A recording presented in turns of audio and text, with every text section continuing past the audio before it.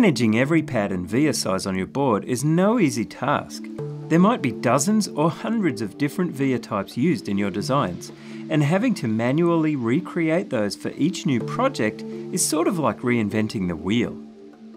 Pad and via libraries in Altium Designer solve this problem from the start. Simply create a new pad or via, then specify the dimensions and parameters exactly as you need, just like you would from a standard PCB document. Even better, they'll be named automatically according to IPC standards. Of course, pads and vias can always be placed and adjusted manually, but using the pad and via library, templates are instantly accessible from the Properties window or from the Templates panel.